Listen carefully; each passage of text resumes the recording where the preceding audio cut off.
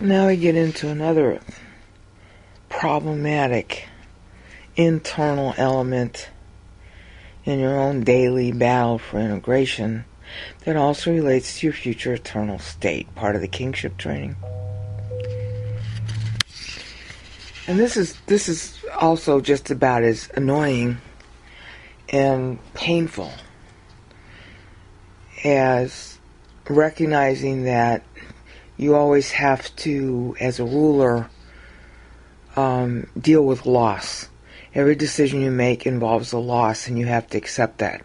The, the basic point of that last increment was that as a ruler, even though you're the ruler, see, all the power, all the, you know, status, all the everything, there's no way to make a decision that isn't going to result in loss. Even God. Okay? God is deciding truth be free. That means there's a loss. And he has to live with it. So when you make a decision, you have to take into account, like the Lord said, count the cost. And the genius of God, and frankly, from what I can tell, the reason He's willing to be God is that He wants the cost. That's a loss to Him. And then there's the other loss to Him that, you know, He really doesn't want, but it's part of truth be free. And that's the loss of whoever won't believe in His Son. That's something he never wants. 2 Peter 3 9. God is never willing, is the way it should be translated. Never willing that anyone should perish. And perish has two meanings. I mean, perish in the sense of, you know, lost, and perish in the sense of forever, you know, in the lake of fire. It doesn't have to be forever, but God foreknows it will be. Satan's never going to change his mind. I don't know about those other angels, but chances are, no. I mean, you don't see in what was it, Revelation 20, verses 11 through 15 is this great white throne judgment, where all the unbelievers, you know, are resurrected. And they stand right there now before Christ. They can't pretend that there's no God. They can't pretend that they don't know what the story is. And because God is never willing, 2 Peter 3 9, why aren't they standing there saying, Whoopsie, we blew it.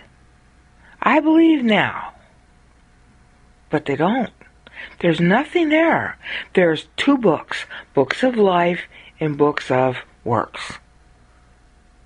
Their names are blotted out, ex Catalepo or ex Catalepo. Their names are blotted out of the book of life because they never believed. Their names were originally in the book of life, and had they died so young, before they was able to say no, they would have been in heaven. But God let them live to have the freedom to say no, knowing they would, and they used that freedom to continually say no. So they never believed so they go to hell. And they're standing there, blotted out of the book of life, so it's kind of like, okay, the book of life doesn't have your name in it. Well, let's add up your works. And my pastor, when he covered this passage, would say, okay, there's John McGillicuddy, and he has 3,223 million point three works. The point three he shared with two other people. Yeah, okay, but all those human righteousnesses cannot even begin to add up to divine righteousness that you get for believing in Christ. So guess what? You and your works get thrown into hell. And that's what 2 Peter 3 is about. That's actually used to create the lake of fire. Go look it up. It's in 2 Peter 3.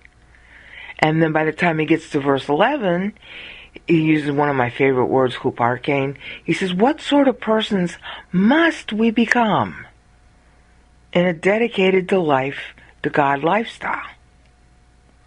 In light of the fiery end. Oh well, here we're talking about loss. In light of the fiery end, which what must you become? You got to become acclimated to the to the loss. You got to become acclimated to the cost. That was last increment. Took me a while to summarize. Okay, now in this increment, there's something else you got to become acclimated to, and it's in its own way another loss, another cost. Oh, I hate this part. I really do. You have to be a role model. This is why the Bible talks about doing good. It's the only way it talks about it. But you have to actually read the passages in context to understand that. When Paul talks about, you know, don't give occasion to anybody to have anything bad to say about you, Peter says the same thing. I don't remember if John does, but I think he does. Somewhere in First John. I'm not really sure you could interpret it that way, but maybe 1 John chapter 2. Okay. I mean, it, the topic comes up as the point that you should take care how you walk. That admonition isn't there because works are spiritual. They're not. It's there because the world is not spiritual, and to it, doing good is, how do you want to call it, godly. To them, the height of their limited understanding is that if you do visible good deeds in their opinion, then you're godly. And the idea of that is then they will listen to you when you actually talk about something that really is spiritual. Which means that all of us are not only in the divine broadcasting system, we're not merely on divine TV, but we're on human TV. When somebody knows you're a Christian, they are immediately going to expect that you're, how do you want to call it, a good deeder. They're going to expect you to be uptight. They're going to expect you to avoid things like smoking and drinking and swearing and all this other claptrap. The Bible never says it's spiritual, and in fact, there's a lot of swearing in the Bible. Uh, Paul says drink wine. Okay? There's a lot of dancing in the Bible. David danced naked. His wife was really upset about that. I'm not sure how naked naked was, but in her eyes it was naked. In other words, a lot of things that Christians regard as unholy behavior, so too the rest of the world. Because your average Christian is just like the rest of the world. Just as carnal, just as stupid, just as undiscerning. And so, what in the eyes of the world is good versus bad is sort of projected onto a known Christian. And you're held to that standard by people, not by God, but by people. It's kind of like your kids. When you're a parent and you have kids, your kids have certain expectations of mommy and daddy. And if mommy and daddy don't behave the way the kids expect, then the kids are hurt. And, you know, it's kind of trial and error. You learn to figure out what your kids expect because you know you're their role model. And you know, you know you as just a regular human being, but they don't know what that is. You know, you got you're on a pedestal to them. And so if mommy speaks nasty, then something's wrong. Mommy is mean, even though mommy really isn't mean. They don't know the difference between warning and being mean when you're mean to somebody, it, you're you're trying to put them down. But you can scold, you can use nasty words, you can be, how do you want to call it, harsh, and there's no intent to put the person down. And a lot of times that's what you'll do with your kids. You scold them because you're worried. You scold them because you, you want them to remember, don't do this. You're not putting them down, you love them. But they can't tell that difference. A harsh tone only means bad. The same thing, especially with spiritual children. I get that all the time, you know, because I don't, I don't mince words, okay? Because that's rude. If you, if you mince words, you are. Uh, I remember my dad was telling me this, and I got to use a nasty word because this is the word he used. He says, "Don't when you go out or you talk to a guy, don't be what he called a prick teaser." Do not flirt with him. Do not be nice to him. If you don't want him, tell him flat, be direct. Otherwise, he's going to think that you're being coy and you really want him. Be nasty, be whatever it is that makes it real clear to him no, I do not want to date you. Okay? That was some of the best advice he gave me. And okay, well, I don't want to do that to you either. I don't want to do that to a Christian either. If a thing is wrong, say it's wrong. Do not mince words. Try to explain it because it's stupid to just call somebody out and not explain why. Name calling is fine, but without the reason, then they can't benefit from it. That's what's so sad about Christianity is that we either call each other names or we get we're overly nice and then nobody's benefiting. It's real sickness in Christianity.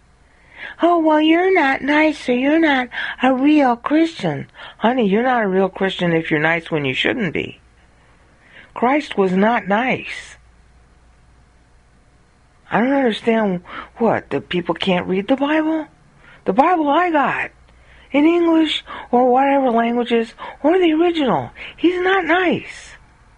When he calls you a whitewashed sepulchre, he's saying that you're a grave on the inside and you just look nice on the outside because you're a hypocrite. That's not nice. He told the Pharisees that they were bastards. That's not nice. Okay? Paul, in Ephesians 3 8, calls all human work shit. Of course, he's playing on Isaiah 64 6, which says that they're menstrual rags. Those aren't nice statements. Christ says, You are of your father the devil. Is that nice? So where do we get the idea that you're not a good you're not a real Christian if you're not nice? Christ is obviously a real Christian. He's the Christ who we're supposed to model ourselves after. He's not nice. But you're not you're not supposed to be nasty for no reason. See, it's supposed to be like talking to kids. Whatever you say to yourself or someone else, it's supposed to be designed to help them. It's supposed to be designed to bless. But you know, blessing can hurt. Now you can say, well, Brainout, how do you know when it's good to be nice and when it's good to be nasty? Well, that's a ruling. That's part of the loss. Whatever decision you make, you're going to incur a loss. Even if it's right to be nasty, it hurts. It hurts to be nasty to somebody. Yeah, you can get carried away with anger or sin or whatever, but it still hurts. Don't you feel sick afterwards? I mean, yeah, you enjoy it too because the sin of anger feels good. But sometimes it's not the sin of anger. And you feel sick. I mean, if you had to go tell your best friend, I don't know, that you can't see them anymore, you're not going to feel good about that. You're going to try to avoid it. But if the person you're not going to see anymore is someone you can't stand, it's going to be easier to say, right? But you're still not going to feel good about it. And you'll sit there and justify it to yourself anything to talk yourself into why you should do it or why you did do it or why it was right. Why? Because inside it there's this like no, no, no. It's never nice to be nasty. But you got to do it sometimes. That's a loss. The other loss is oh crap. I'm a role model? Yeah, to the to the stupid. You know, when you're around people your own age, you can afford to act real. But when you're around people a lot younger, you have to you you know, everybody does it. We all do it. When you're around children, you act differently around children than you act around people your own age. Because you just unconsciously or subconsciously know, oh, I gotta, they're expecting to see something. I have to play a game, a role for them. Yeah, you do. You're a teacher, you got students, you got to play a role, even if you're the same age as your students. You're the boss, they're the employee, they're underneath you. That's a role. You know, as a Christian, you got a role. And it's not pleasant. It means, like, you know, like I just swore a couple of times. I've been sort of gradually introducing it every once in a while. And the idea is to show that swear words are not unchristian. They're actually in the Bible. Okay? It doesn't mean that I like using them. In fact, I prefer not to. Because I think swearing is kind of childish. Okay? It's overdone and it means that you have a deficient vocabulary. But sometimes it's warranted. Okay, you can say, well, Brena, how do you know when it's a good thing to swear or not? Answer, I don't. It's a judgment call. I have to talk real fast. I'm not sure if the words I'm using are really the best words to use. I'm trusting God to make sense out of it to whoever's going to listen. But you know, half the time I'm not really sure. Is what I'm saying to you now what God wants me to say? Maybe yes, maybe no. Generally, yes. But often I don't know that until after the fact. You have to guess. You got to make a decision now based on two little facts. That's ruling.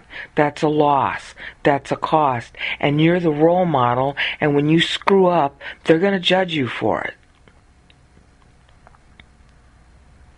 And that's fine if they judge you for it. The big problem is you don't want them to really be judging God, but they think they're judging you. That's a real serious problem. And I, that's another loss. There's no way around it. Like I often am going around in comments, okay, and a lot of the times I have to say something like vile pro-lifers. Because pro-life is as anti-God as it gets. It's all tied up with anti-Semitism. And the pro-lifers don't even know. I'm not even sure you can become pro-life unless you're anti-Semitic to start with. I mean, you really have to have no brains to be pro-life. Your brains just have to have been fried. Not breathing, not alive. How hard is that to understand? It's all over the Bible. The Bible's definition of life begins with your first independent breath. Are you breathing? Then you're alive. Did you stop breathing? Then you're not alive. Did you never start breathing? Then you're not alive. What is so hard about that? Biologically, there is no breathing in the womb, period. The oxygen is fed to the fetus from the mother. The fetus is not breathing. You can't breathe in water or amniotic fluid, actually. There's no breathing. They say, well, the heart is beating. It's not the fetus that's causing the heart to beat. It's coming from the placenta. It's, it's organic material that is responding to the placenta. It's not independent life. It's not independent breathing. It's not independent beating. It's not independent anything. It's attached inside somebody else. To say that the fetus is human is like saying, let's see, what? your chromosomes inside your fingers are human. You say, well, chromosomes aren't human. Right, and neither are the body parts inside a womb.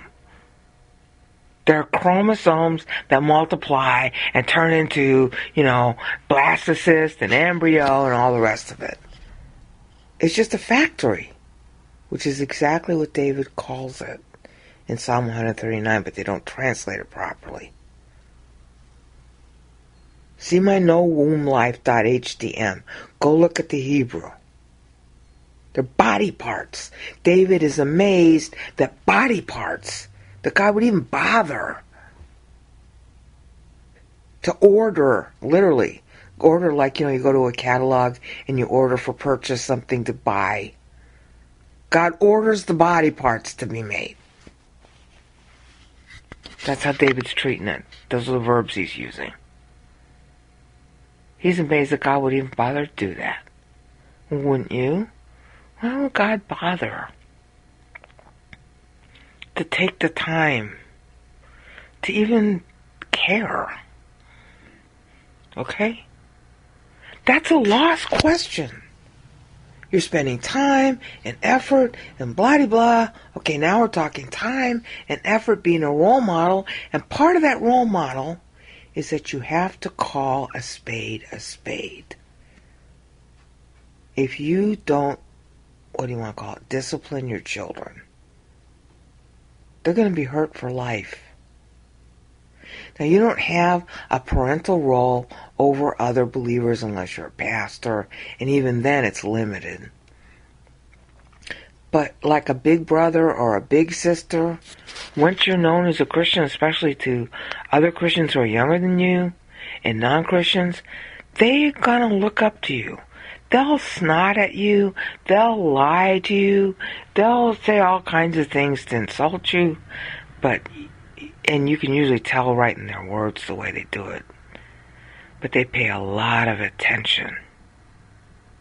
And they want you to talk to them. The worst thing you can do is say, I don't want to talk to you anymore. They want you to talk to them.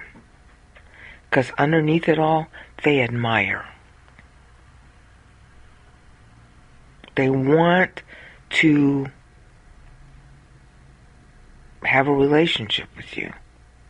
But they don't, they, they can't handle that too. So they have to be hostile. This is really true the most with atheists. They can't stop talking. The minute you get into a conversation with an atheist, getting out is almost impossible. Okay, they, they don't want to stop the conversation. They have a hate love relationship with Christians. Okay? They just gotta get, pick, grab at you, grab at you, grab at you, grab at you. And it's not really hostile, but they'll play it that way. Because they don't know what else to do. I'm not, I'm not, they're attracted. There's something subliminal that they know you're a role model, you're higher. And they like it and they don't like it all at the same time. And they need to like shoot at you. And part of them is hoping to knock you down, and the other part of them is hoping that you will like vindicate your faith to them. They're always asking you to prove it, prove it, prove it, prove it. Well, part of them really wants you to give them enough proof so they can believe too. They're attracted to that. That's a classic example of the role model thing that Paul's talking about how you walk, how you present yourself. Peter did a lot of talking about that too. So, the loss is you're not your own. It's one thing to be living your life before God. It's like being naked, okay? It's like you're with your spouse and you're naked. There's nothing hidden. There's nothing your spouse doesn't know. So you don't have to pretend. You don't have a role to play. You can, but you don't have to. That's ideal marriage, anyway. But with the outside world, it don't work like that. With the outside world, it's all protocols and customs and baloney, diplomacy. And that was going to be my career, and I'm so glad I got I didn't. It, it, there's, there's, there's just so many little ways everything goes wrong with relationships with people on the outside, where there's no intimacy or very little or restricted intimacy. And that's the way it is with the Christian and the rest of the world. They're constantly holding you to their standards. And the whole problem is that the Christian way of life is nothing like their standards. By their standards, God is immoral. Even God. I don't know if you listen to them very much, but and uh, maybe you've maybe in your earlier life you had this problem or you have it now. To the world at large, the whole idea of some guy magically coming down and being God and human at the same time, like, what does that mean? And somehow magically hanging on some wood and magically thereby paying for sins is like, oh yeah, sell me the Brooklyn Bridge. It doesn't make any sense.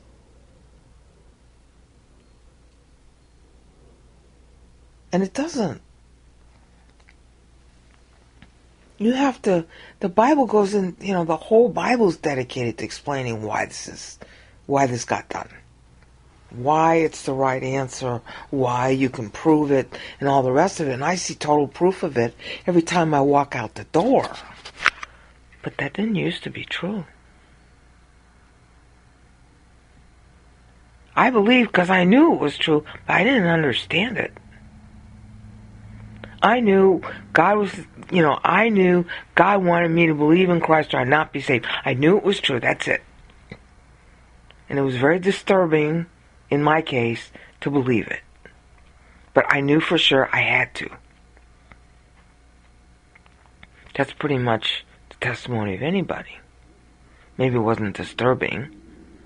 But you know. You know you got it from God. You know this is the thing. You know you got to do it. And you believe or you don't.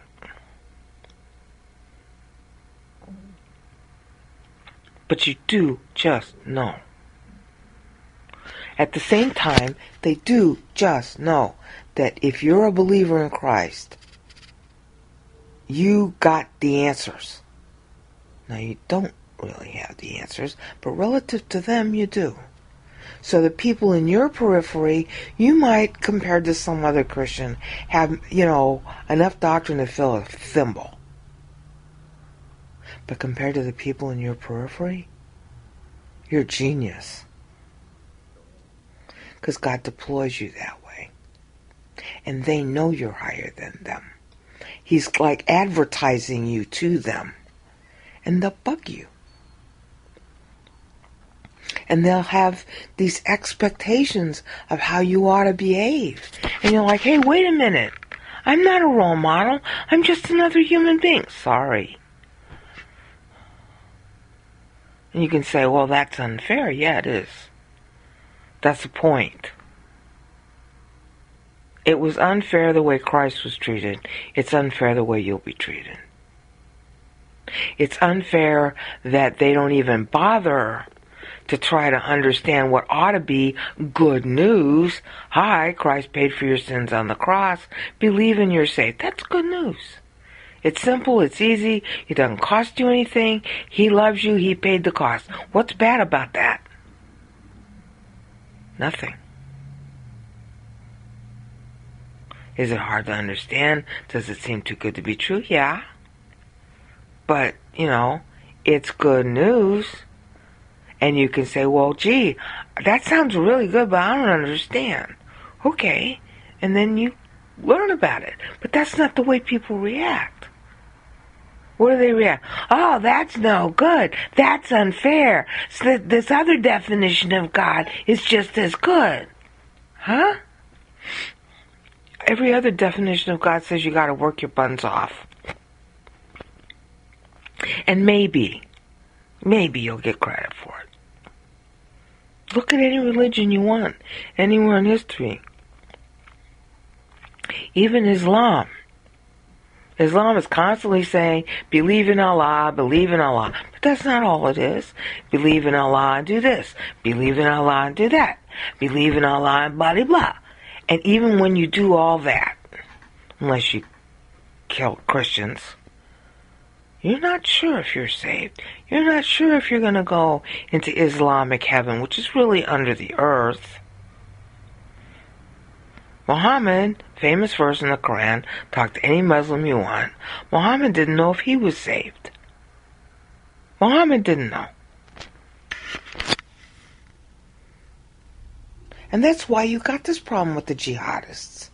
That's why women strap bombs onto their own kids. Because the one sure way to be saved in the Quran is to kill yourself by killing Jews or Christians. Now, how holy does that sound? And where is it like grace? Where's grace in the Quran? Nowhere. You kill yourself for God, basically.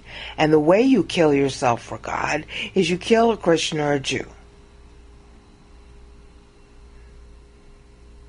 For sure you go to heaven then with the 72 Houris and all that other nonsense. Contrast that with the Bible. You believe in what God did, and you're saved forever for sure. You sacrifice nothing, because He sacrificed 2,000 years ago. There couldn't be a more strident difference between the Bible's definition of salvation and every other religion ever in existence or any that you could make up because all of them say that you got to do something for God. Only the Bible says God did something for you. Do you believe in it? Because it's an offer, it's an inheritance. The Bible calls salvation an inheritance. God does something for you. It cost him. Do you accept the inheritance he wants to give you? Now that's a legal thing and it's in Ephesians, uh, Hebrews 9. A will. It's made analogous to a testator, will. And that law has always been on the books. It's true now too. When somebody dies, he makes out, he's made out, hopefully before he died, a will as to how, what should be the disposition of his assets. I, Uncle Bob, die. If I die, my wife gets the house, my kids get my car, blah, blah, blah, blah, blah, blah. That's the analogy in Hebrews 9. Christ died on the cross.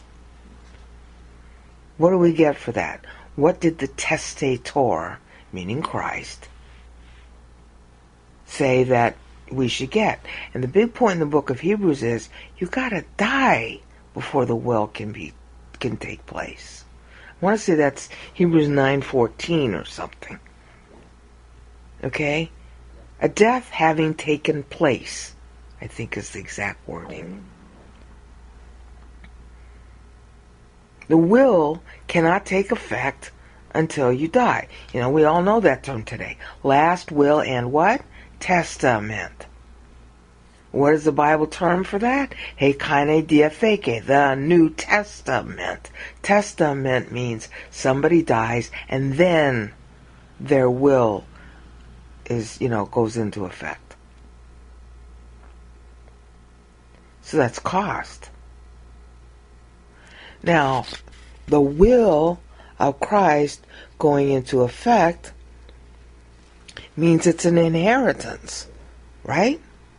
He dies, he says you get X. And you can you are therefore the beneficiary of the will. Okay, well under every law that's ever been in existence, if somebody wills you get something, you still have the right to elect against the will. Elect against the will. That's exactly what you're doing when you turn down the gospel. Anybody who goes to hell elected against the will. Because Christ paid for everybody. That's the point of Hebrews 9. And at the end, you know, at the end, you have the first um, comes death and then the judgment. You know, no reincarnation, duh. Alright? You're judged because you elect against the will. Okay, if I elect against the will, then I get the alternative. What's the alternative? Well, you're electing against God. His will, my son paid for your sins. And His will, I want you to believe in that payment. But your will was, well, I don't. Okay. So what has to be the alternative?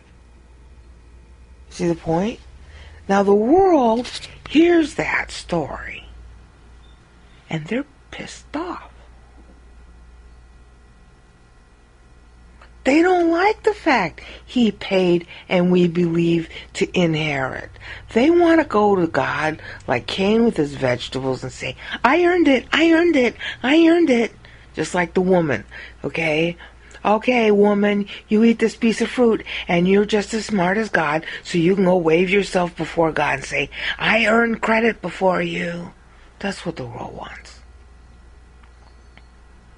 So they judge you in terms of their ideas of credit. And they expect you to live up to their ideas of credit. Okay? Even though none of that's spiritual. And really, frankly, it's anti-Christ. It's anti-God. It's their way of waving themselves in front of God and saying, I deserve, I deserve, I deserve, I deserve. They will not hear anything else.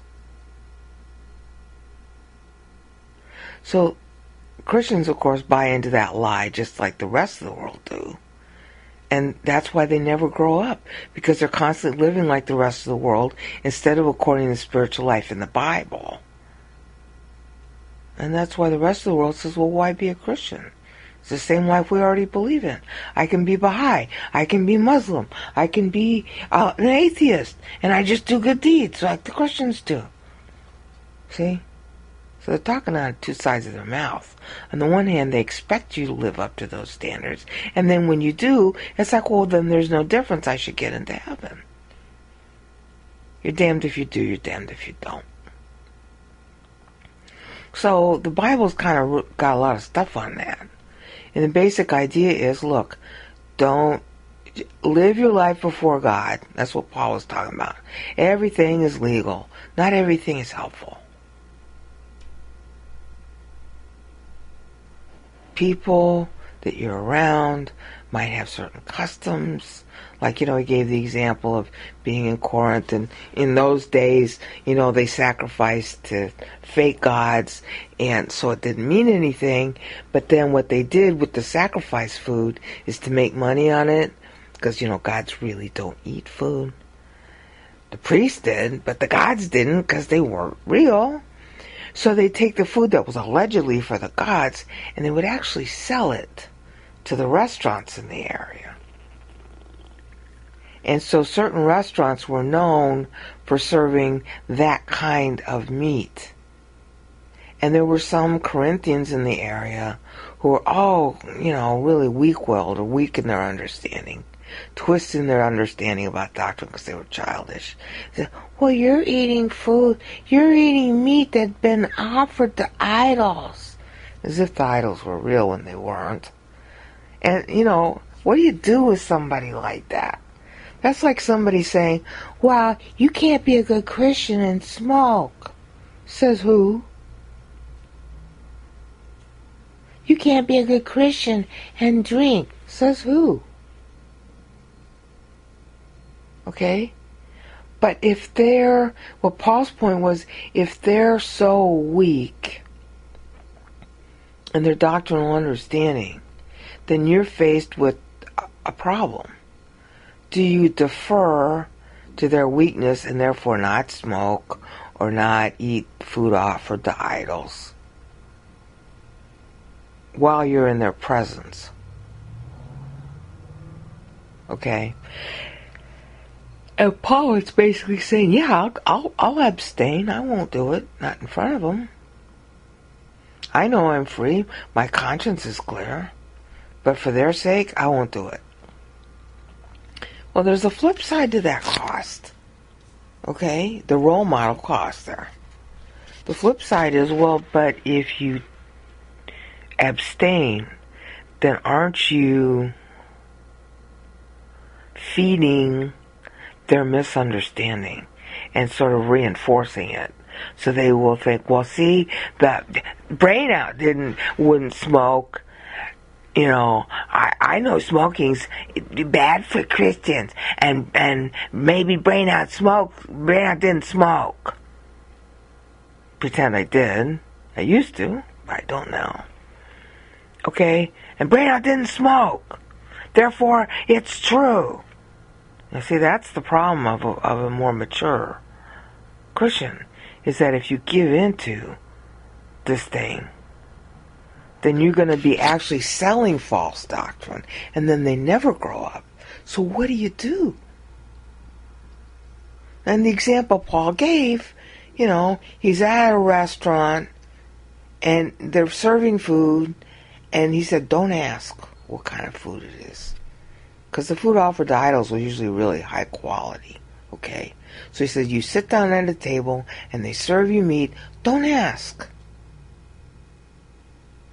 But if somebody who's sitting with you says, oh, That meat was offered to idols, as if idols were real and you'd be bad if you ate it. Apostle, well, I'll abstain then.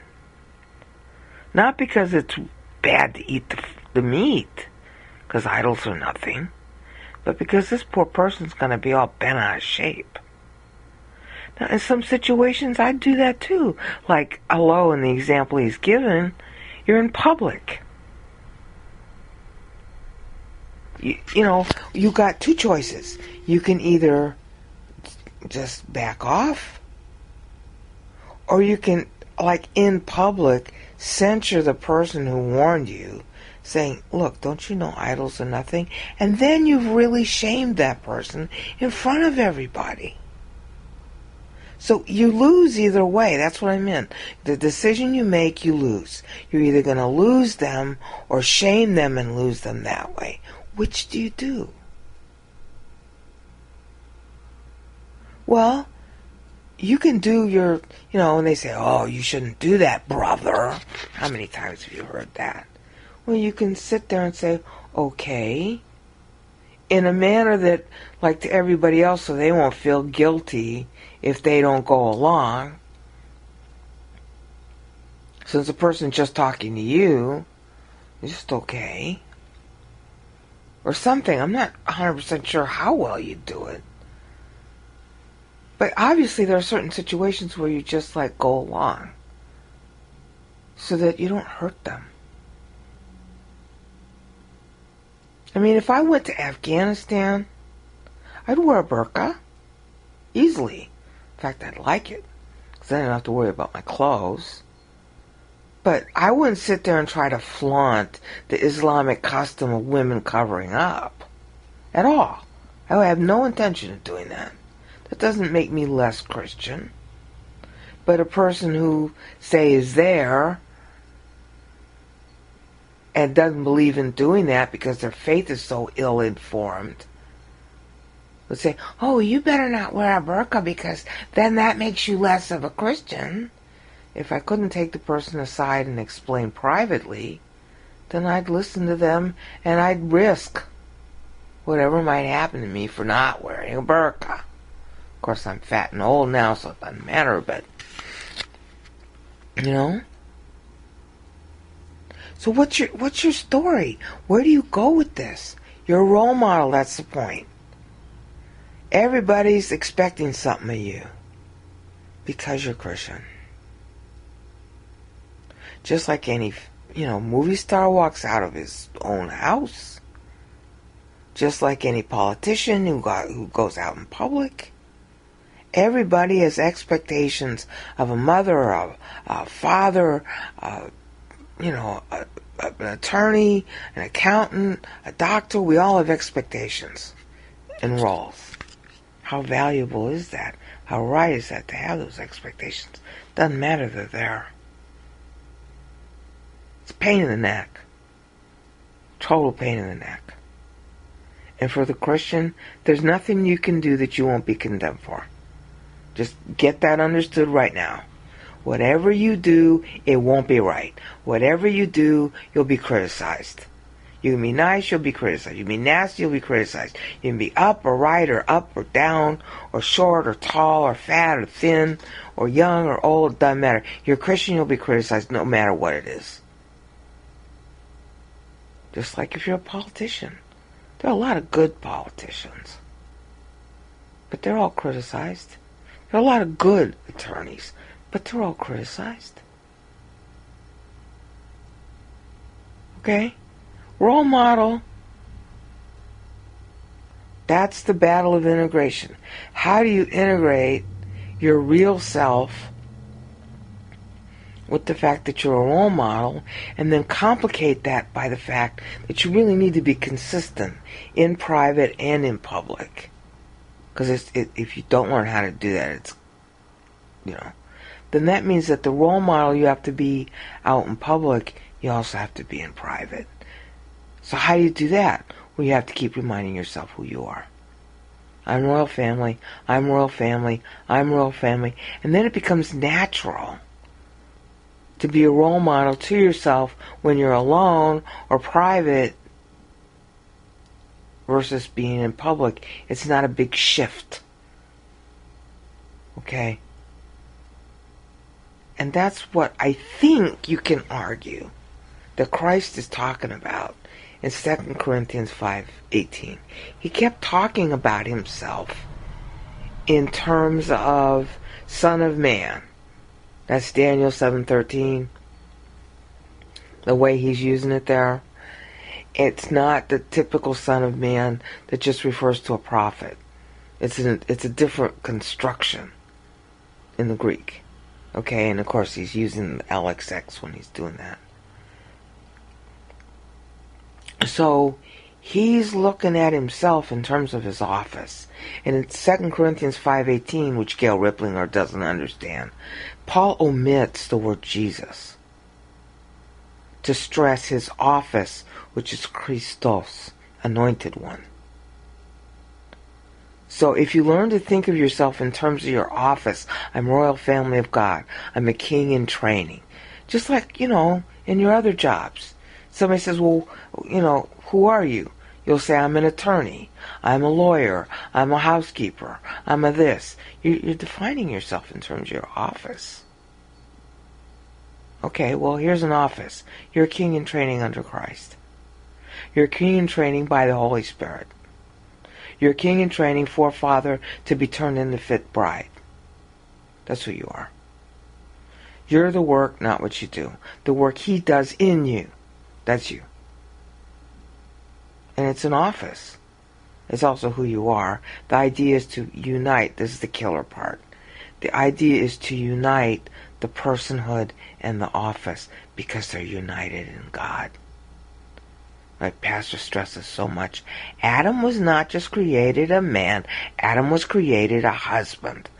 Eve, Isha, her original name, was not just created a woman, she was created a wife. In other words, unity of personhood with nature. Unity of office with nature. God is not merely God nature, but God office. So the whole role model thing really ends up being a training mechanism. I mean, it starts out, you know, ostensibly it's because the world has, you know, what do you want to call it? Soulish expectations of us that are totally unwarranted. Their idea is good deeds, good deeds, good deeds. It's a satanic mindset. Okay, but that engenders a need to be the role model that frankly God has turned into the structure for eternity. Because in eternity you are doing all the good deeds. In eternity, everybody's living off you. You're the king, they live off you, and you wouldn't have it any other way. Parenting. forever. So God's kind of turned all this on its head. God person, God office, all one person, all one office, two sides of a coin, the same one. Think about it.